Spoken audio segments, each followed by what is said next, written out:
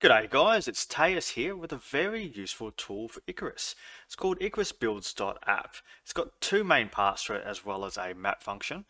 So in the first section you've got the tech tree which it's got a workshop for when you're in space which isn't filled out just yet but I'm sure that's coming soon. And then you've got all your blueprints so you can sort all that out as well as all the various different tiers. So the talent section which is what I'm personally more interested in is you've got all the skills, and this will be updated over time.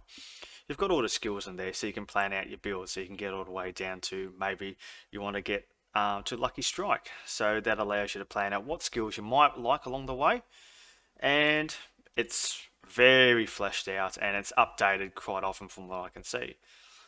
So what I have done is I've planned out myself like a little bit of a build, what sort of like the resources tree kind of interested me. So I had a bit of a look at that and worked out what I might want to get increased yield from metal deposits because hey, that sounded interesting to me.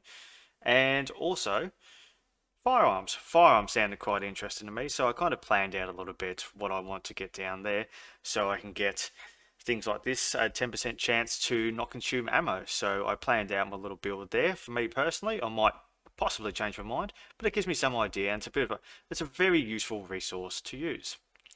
Anyhow, if you guys found this useful at all, please like and subscribe so I can bring this sort of content out a little bit more and keep you guys up to date with all this sort of stuff.